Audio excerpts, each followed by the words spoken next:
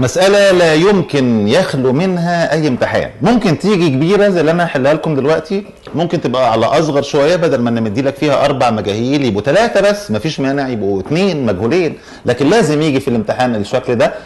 أنا مدي لك أكبر حاجة فيها لكن أنا متأكد إنها لازم هتيجي في الامتحان سواء بالمنظر ده أو أصغر شوية. المسألة بتقول إذا كانت الصاد بتساوي ألف س تكعيب زائد ب س تربيع زائد ج س زائد د. حلو. ما تخضش أنا بقى. عايز الألف بكام والب بكام والجيم بكام والدال بكام؟ إمتى بقى؟ إديني حاجات أشتغل بيها. إذا علم أن اولا المنحنى يعني يحقق الشروط الآتية. اولا يمر بنقطة الأصل. ثانيا له مماس أفقي عند س بواحد ثالثا النقطة الفلانية 3 فاصلة ناقص 9 نقطة انقلاب. الله! وبرضه واحد يقول لي بقى إيه اللي جاب نقطة الانقلاب لنقطة الأصل؟ لا ده كله تفاضل. ما جبتلكش حاجة ميكانيكا في التفاضل. ولو إنه ممكن يحصل وشفنا مسألة قبل كده عليه. إنما يعني هي نقطة الانقلاب دي تفرق عن النقطة الحرجة؟ إيه علاقة النقطة بتاعت الانقلاب بالنقطة الحرجة بمناطق التزايد والتناقص بتاع منحنى الدالة؟ بفترات التحدب لأسفل والتحدب لأعلى وكلها مواضع أسئلة في أي امتحان. ده أنا بشوف في الامتحان على الأقل ثلاث أسئلة ثلاث مسائل على الفيلم ده. منهم المسألة دي. مسألة أخرى بتبقى في السؤال الأول. يقول لك آه، ابحث فترات التزايد والتناقص والنقط الحرجة ساعات تبقى الداله عادية أو معرفة بقاعدتين. أهو الامتحان معايا أهو. ومسألة تحت في أحد الأسئلة الاختيارية ساعات بيدخل فيها تكامل يبقى تفاضل على تكامل مع بعض بيخش فيها برضه بنقطة الانقلاب ونقطة الحركة لكن بسرعة كده قبل ما أحل. هي النقطة الحرجة هي النقطة اللي عندها المشتقة الأولى بصفر أو مش موجودة. طبعا أو مش موجودة. اللي معظم الطلبة عارفينه إن النقطة الحرجة دي هي نقطة عندها المشتقة الأولى بصفر. على رأسي. بس كمان لازم نعرف احتياطي ان النقطة الحرجة دي هي نقطة ممكن يكون عندها المشتقة الأولى أساسا غير معرفة، إزاي؟ أقول لك إزاي؟ دالة فيها دورين، دالة معرفة بقاعدتين، طلع المشتقة اليمنى عند س بواحد غير المشتقة اليسرى عند برضه س بواحد. إذا عند النقطة اللي يحدثيها السين بواحد يعني عند النقطة واحد وصورتها حرجة رغم إن المشتقة الأولى مش بصفر ما بقاش أنا حافظ مش فاهم بقى يلا النقطة الحرجة نقطة عندها المشتقة الأولى بصفر والسلام. لا. إذا النقطة الحرجة قبل ما أكمل هي إما نقطة عندها المشتقة الأولى بصفر أو نقطة عندها المشتقة الأولى مش موجودة يعني بالمناسبة السعيدة دي برضو. لو دالة فيها بسط مقام مش دورين بقى معرفة بقاعدتين والمقام بتاعها س ناقص واحد أي أن هذه الدالة مش معرفة عند س بواحد وما دامت مش معرفة عند س بواحد تبقى مش متصلة عند س بواحد. وما دام مش متصلة معهاش الإعدادية تبقى غير قابلة للاشتقاق برضه عند س بواحد. وما دام مش قابلة للاشتقاق عند س بواحد يبقى النقطة واحد وصورتها نقطة حرج مش عرف حضرتك لأن النقطة الحرجة هي النقطة اللي عندها المشتقة الأولى مش موجودة. هرجع لمسألتي خطيرة. بس الأول عرفت يعني إيه نقطة حرجة؟ مفيش سبيل آخر أستفيد برضه بالنقطة الحرجة. أه عن طريق النقطة الحرجة أو بكلام أدق شوية عن طريق الإحداث السيني مش النقطة كلها الإحداث السيني للنقطة الحرجة بحطه على خط أعداد بيمثل الدالة الدالة شرطة س أبحث فترات التزايد والتناقص لمنحنى الدالة دالة س عن طريق بحث إشارة دال شرطة س يعني أبحث إشارة المشتقة الأولى المشتقة الأولى موجبة تبقى تزايد المشتقة الأولى سالبة تبقى منطقة تناقص. تزايد يليه تناقص يبقى النقطة نقطة حرج. عندها قيمة عظمى محلية. لكن تناقص يليه تزايد تبقى برضه نقطة حرجة بس عندها قيمة صغرى محلية. تفرق العظمى المحلية والصغرى المحلية عن العظمى والصغرى المطلقة طبعا. لأنه في المطلقة بيقول لي في الفترة الفلانية. هتيجي عليها مسائل طبعا. يقول لك في الفترة من واحد لخمسة عايز العظمى المطلقة. فأنت بتشتغل مسألتك عادي عظمى محلية وصورة محلية نقطة الحرجة كذا. وتجيب صورة أول عنصر في الفترة وصورة آخر عنصر في الفترة أعلى صورة في الهيصة كلها اسمها العظمى المطلقة. أقل صورة عدديا يعني ممكن تبقى عظمى محلية ومع ذلك صغرى مطلقة لأن ده أقل رقم طلع. وما تستغربش هوضحها لك في مسألة بعد شوية بس مؤقتا أنت ممكن يكون عندك المنحنى متصاعد كده دالة تزايدية ثم نزل. يعني تزايدية ثم تناقصية. عاملة فوق كده نقطة اسمها نقطة حرجة. عندها قيمة عظمى محلية في المنطقة بتاعتها. رغم انها عظمى محلية الا ان ممكن قيمة الصاد بتاعتها تكون باثنين في حين انه منطقة تناقصية ثم تزايدية يعني نقطة حرجة عندها قيمة صغرى محلية رغم انها صغرى محلية الا انه قيمة الصاد بتاعتها ب 12 عظمى محلية الصاد بتاعتها باثنين وصغرى محلية الصاد بتاعتها ب 12 آه فملوش علاقة بقيمة الرقم موضوع العظمى المحلية والصغرى. إنما العظمى المطلقة بدأ أعلى قيمة عدديا في الصور اللي بتطلع. العظمى والصغرى والبداية والنهاية للفترة المعطاة. آخر حاجة بحثنا عن طريق إشارة شرطه س فترات التزايد وفترات التناقص وكنا قبلها جايبين النقطة الحرجه منين نجيب نقطة الانقلاب ونبحث فترات التحدب لأسفل ولا اعلى نقطة الانقلاب معروفة هي النقطة اللي عندها المشتقة الثانية بصفر فأنا أجيب له ده س المشتقة الثانية أصفرها اطلع السين أصورها أجيب صورتها. فعرفت النقطة اللي هي محتمل بنسبة 90% تكون نقطة انقلاب مش 100% إيه ده؟ بس إحنا قالوا لنا ان نقطة الانقلاب هي النقطة اللي عندها المشتقة الثانية بصفر. ما أنا قلت نفس الكلام. النقطة اللي عندها المشتقة الثانية بصفر هي نقطة انقلاب إذا ما توفر الشرط. نعم. آه. يعني مش كل النقط اللي عندها المشتقة الثانية بصفر تبقى نقطة انقلاب كده وخلاص. عارف ليه؟ بس هي مش معايا في المسألة دي دلوقتي. بس هقول لك ابقى جربها. افرض الدال شرطتين نفسها طلعت س تربيع. كلام خطير. دال شرطتين س طلعت س تربيع زائد 10 س زائد 25 س تربيع زائد 10 س زائد 25 جيت صفرتها س في س و5 في 5 وموجب وموجب طلع لي قيمتين. س بناقص 5 وس بناقص 5 أجي احطهم على خط إعداد بيمثل دال شرطتين س هلاقي الناقص 5 دي موجودة على يمينها زي على شمالها. على يمينها موجب وعلى شمالها موجب. تحدب لأسفل وتحدب لأسفل. يبقى رغم إن النقطة عندها المشتقة الثانية بصفر إلا إنها مش نقطة انقلاب. بس. إذا نقطة الانقلاب هي النقطة اللي بيكون عندها المشتقة الثانية بصفر بشرط يكون قبلها تحدب لاسفل وبعدها تحدب لاعلى أو العكس. إنما أنا اديتك مثال بجربه بعد ما أخلص المسألة المهمة الخطيرة مسألة الامتحان اللي معايا هتكتشف إن مش كل النقط اللي عندها المشتقة الثانية بصفر تبقى نقط انقلاب. المهم مسألة بتقول صاد ألف س تكعيب زائد ب س تربيع زي ما قلنا زائد ج س زائد د وعايز الحركات الألف والب والج والدال إذا أولا المنحنى كان بيمر بنقطة الأصل، يعني إيه بيمر بنقطة الأصل؟ يعني النقطة صفر وصفر تحقق، يعني إيه تحقق؟ شيل الصاد وحط صفر، شيل السين وحط صفر، طلعنا بقيمة الدال، خش في اللي بعد. لو مماس أفقي عند س بواحد، مش فاهم يعني إيه لو مماس أفقي يعني؟ يعني المماس عند النقطة الإحداثية السيني بيساوي واحد بيوازي محور السينات، أفقي يعني بيوازي محور السينات. ولما المماس بيوازي محور السينات مش يبقى ميله ظا صفر. أنا عارف إن في بعض الناس حافظاها يقول لك الميل بصفر بس ليه الميل بصفر؟ علشان هذا المستقيم بيوازي محور السينات. فعامل زاوية صفر مع محور السينات يبقى ميله ظا صفر. يعني كام؟ يعني صفر. الخلاصه يمر بنقطه الاصل يبقى ياخد الصفر وصفر عوض بيها كده الدال خلاص طلعت. له مماس افقي عند س بواحد يبقى المشتقة الأولى بصفر لما الس بواحد. اشتق أجيب صاد شرطة أحط فيها الس بواحد أساوي الصاد شرطة بالصفر. ثالثا حاجتين. النقطة 3 وناقص 9 نقطة انقلاب. ليه حاجتين بقى؟ اولا النقطة 3 وناقص 9 دي تقع على المنحنى وما دام تقع على المنحنى فهي تحقق معادلتها دي نمره واحد. نمرة اثنين هذه النقطة نقطة انقلاب. يعني إيه انقلاب؟ يعني المشتقه الثانية عندها بصفر. بس حضرتك كنت بتشرح من شوية قلت مش شرط. لا. أنا قلت أنا أعمل التيست أجيب النقطة أختبرها أشوف ظروفها إيه قبلها تحدب لاسفل أهلا وسهلا بعدها تحدب لاعلى خير وبركة. وأنا بعمل الاختبار ده لقيت اللي قبلها زي اللي بعدها زي المثال اللي أنا قلت لك عليه من شوية شفوي تبقى النقطة دي خدعة. مشتقه تانية بصفر آه بس خدعة. ما هياش نقطة انقلاب. إنما في المعطيات المرادي بيقول لي النقطة دي بالفعل نقطة انقلاب ما فيهاش فاتي دي. هي بالفعل نقطة انقلاب. يبقى الحل سهل. أربع حاجات. صفر وصفر تحقق. ثلاثة وناقص تسعة نقطة تحقق. المشتقة الأولى عند س بواحد بتساوي صفر والمشتقة الثانية عند س بثلاثة بتساوي صفر. خلصت. كده طلعت الأربع مجيل. تعال نجرب بقى عملي. المنحنى يمر بنقطة الأصل صفر وصفر. زي ما اتفقنا هشيل كل س تقابلني اكتب مكانها صفر وكل صاد حط مكانها صفر. كده خلصت. طلعت الدال بصفر بالسلامة.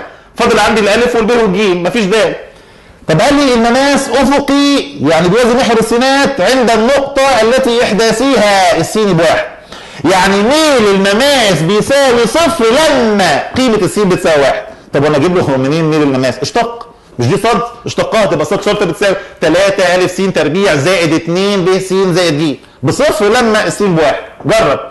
يبقى ده الصاد ده س بيساوي 3 ألف س تربيع. زائد 2 ب س زائد ج بصفر. هو إمتى؟ لما السين بواحد. يبقى 3 ألف في واحد اللي هي 3 ألف. زائد 2 ب زائد ج بصفر. جميل. في حاجة ثانية لا ده في ثانية وثالثه النقطة 3 فاصلة ناقص 9 نقطة انقلاب، أولا تقع على المنحنى تحقق معادلته، ثانيا المشتقة الثانية بصفر، لله الحمد بقى أنا عندي مشتقة أولى، هاخدها؟ المشتقة الأولى. هاخدها أشتقها مرة ثانية أبقى جبت المشتقة الثانية، حلو. تعال نستفيد من النقطة دي نقطة واقعة على المنحنى ثم نستفيد بأنها نقطة انقلاب، أنا بدأت بنقطة الانقلاب فلازم أجيب له شرطتين بصفر. إذا اشتق تاني كده ال 3 ألف س تربيع لما اشتقتها بقت 6 ألف س ثم جنبها زائد 2 ب. حلو قوي. بكام بقى 6000 س زائد 2 ب دي؟ بصفر إمتى لما الس بثلاثة؟ شلت السين كتبت قيمتها بثلاثه يبقوا 18 ألف زائد 2 ب بصفر اقسم الحاجات دي على الاثنين يبقى 9 ألف زائد ب بصفر طلعت معادلة حلوة بس مش النهاية لأن لسه عايز الألف وعايز الب وكمان عايز الجيم مش بطالة بس لسه عندي نقطة 3 وناقص 9 تقع على المنحنى. فهي تحقق معادلته. امم المنحنى الأصلي مش أي بتاع اعملها كده أي معادلة فيها صاد شرطتين ولا صاد شرط لا. المعادله الاصليه معادلة المنحنى. شيل بقى في معادلة المنحنى السين حط 3 والصاد حط ناقص 9 يبقى ناقص 9 بيساوي 27 ألف زائد 9 ب زائد 3 ج والدال أصلا كانت طالعة بصفر. طلعت معادلة جديدة أهي. 27 ألف زائد 9 ب زائد 3 ج والدال بصفر كل ده بكام؟ بناقص 9 الأرقام دي كلها بتقبل الاسم على الثلاثه فصغرناها شوية طلع ناقص 3 بيساوي 9 ألف زائد 3 ب زائد ج أي بقى عيل صغير أخوك الصغير ممكن يكمل لأنه عندي معادلة فيها ألف وب وج وقبلها معادلة فيها ألف وب وفي الأول برضه عندي معادلة فيها ألف وب وج يعني إيه بقى خلي أخوك يكمل الصغير؟ يعني دي ثلاث معادلات في ثلاث مجاهيل مش ممكن واحد في ثالثه ثانوي هيغلط فيهم. هتتخلص من أحد المجاهيل الثلاثه بأخذ المعادلتين واحد وثلاثه تتخلص من الجيم اللي في المعادله الأولى مع الجيم اللي في المعادله الثالثه تتخلص منهم بالطرح يطلع لك معادله فيها ألف وب تاخدها تحلها مع المعادله رقم اثنين هي كمان فيها ألف وب معادلتين آنيتين في مجهولين يتحلوا أو بأي طريقة أخرى المهم تطلع أحد المجهولين الثلاثه وانس إنك طلعت الألف تاخدها ترميها في أي معادله فيها ألف وب طلعت الب تاخدها ترميها في معادله فيها ألف وب فتحصل على قيمة الجيم. بكده تبقى المسألة خلصت بس هوريك الإجابة أهي. المعادله 2 نجد ان الب بيساوي ناقص 9 الف في بعض الناس بتحب تقول لك إيه أنا أجيب الألف بدلالة الب أو الجيم بدلالة الألف شغال مش هتفرق.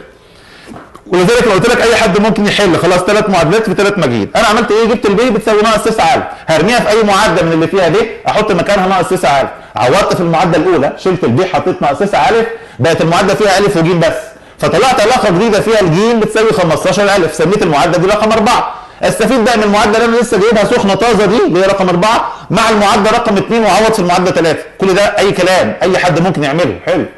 فالمهم تلاقي المعادلة الجديدة بعد التعويض في المعادلة رقم 3 اللي كان فيها ألف وب وج 9000 ناقص 27000 زائد 15000 بيساوي الناحيه الثانية ناقص 3 المسألة كلها فيها متغير واحد أو فيها ثابت واحد أو مجهول واحد اسمه الألف. سهل أحصل على قيمة هذا المجهول بمجرد معرفة الألف طلعت بواحد أرميها في معادله من اللي فيها ألف وب وأرميهم في معادله من اللي فيها ألف وب وج زي ما اتفقنا. فاعوض مرة في المعادله 2 أطلع الب واعوض مرة في المعادله رقم 4 أطلع الجيم. في كل الأحوال وبأي طريقة هيطلع لك الألف بواحد والب بناقص 9 والجيم ب 15 مسألة امتحان زي ما قلنا بنسبة 300% كمان مسألة من المسائل اللي بعض الناس بيشتكوا منها.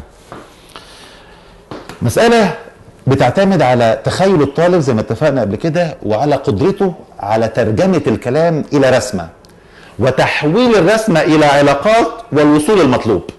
واحدة واحدة. أنا برضو متعود إن أنا أقرأ المسألة كده آخد ودي معاها وأحبها فأعرف أتعامل معاها. مثلث قائم الزاوية. حلو وماله بقى إن شاء الله. ويا ترى دي مسألة معدلات زمنية ولا قيم عظمى وصغرى؟ يقول لك المساحة قيمة عظمى. ما يقولكش صراحة يعني قيمة عظمى يقول لك المساحة أكبر ما يمكن. زي المسألة اللي شفناها جت في الامتحان سنة 2002 اللي قال لي فيها اوجد أكبر مساحة لمستطيل يمكن رسمه داخل شبه منحرف أبعاده كذا. 2002 في امتحان ثانوية عامة عشان اللي بيسأل الرياضة فايدتها إيه؟ افرض أنت عندك قطعة أرض على شكل شبه منحرف أبعاده كذا وعايز تطلع أكبر مساحة لمستطيل يمكن رسمه داخل هذه القطعة من الأرض. مسألة بأرقامها. مش شرط ده بالشبه كده المستطيل متاخد حجمه وشكله كبير. لا ليه بعدين؟ س وصاد طوله كام وعرضه كام؟ علشان ما نهدرش.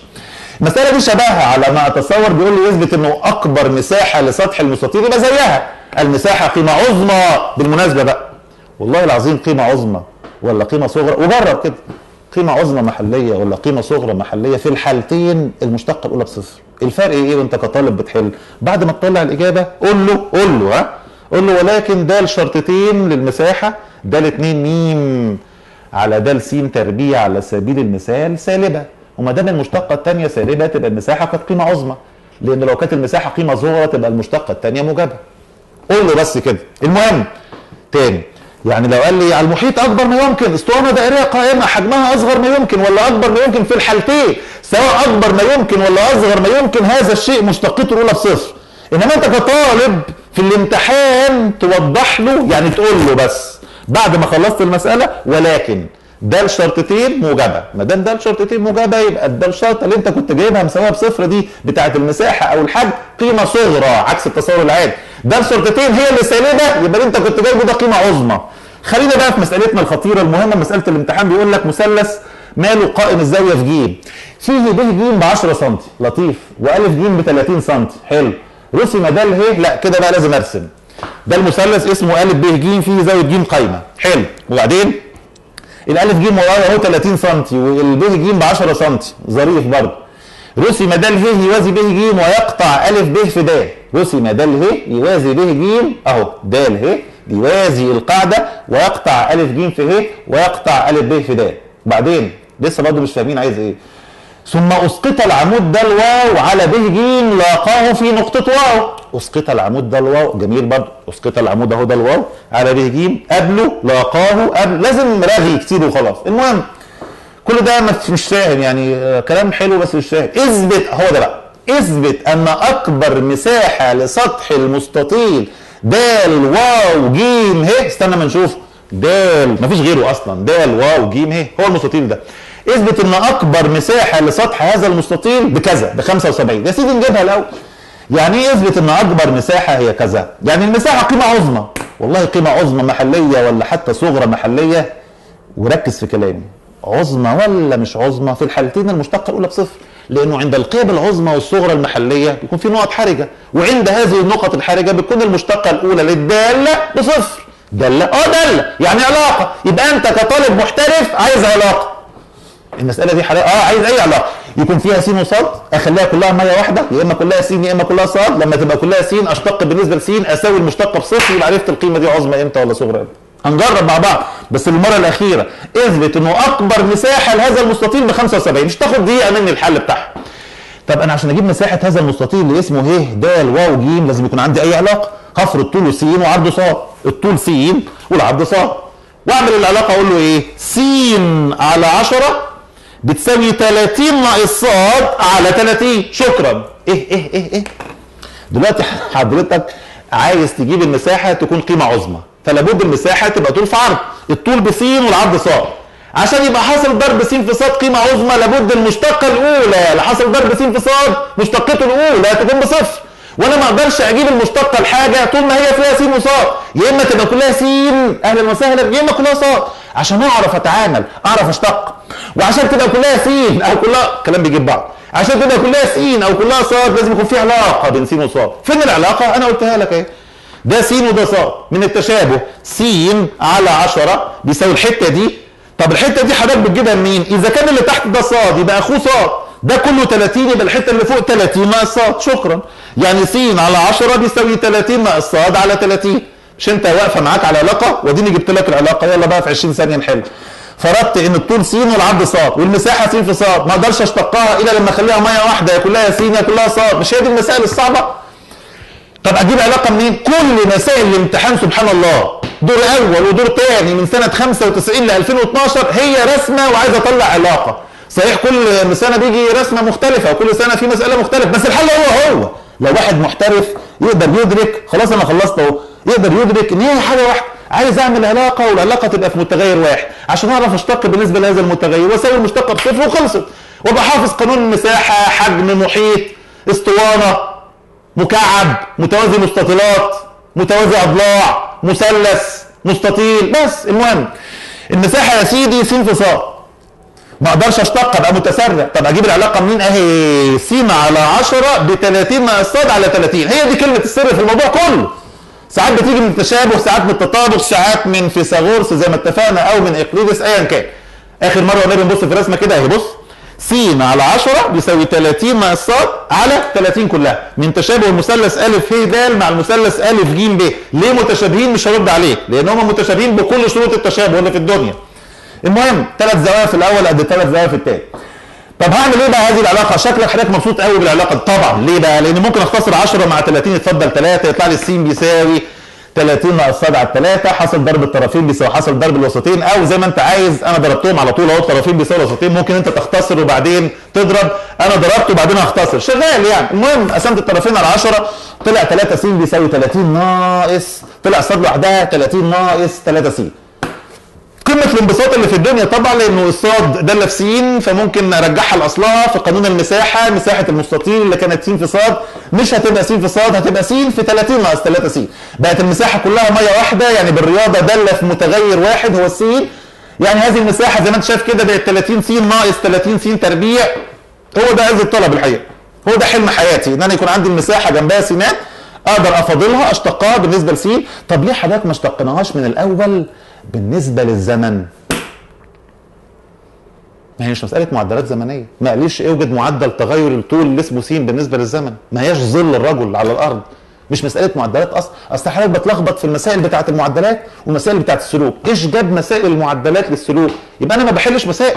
أنا لو حليت خمس مسائل معدلات وخمسة سلوك بمجرد النظر هعرف دي إيه دي إيه.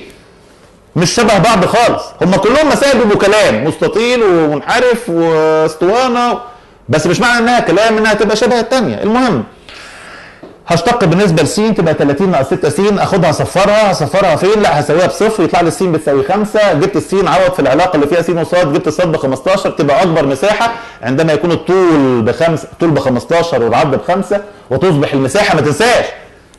هو كان عايز أكبر مساحة تطلع بكذا. فانت عرفت اكبر مساحة لما الطول بكذا والعرض بكذا واحد بخمسة والتاني ب 15 إذا تصبح مساحة قيمة عظمى عندما تكون 15 في 5 يعني 75 مش صعبة المسائل دي لكن لسه هنتمرن على مسائل تانية كلها مسائل متوقعة إن شاء الله في امتحان 2013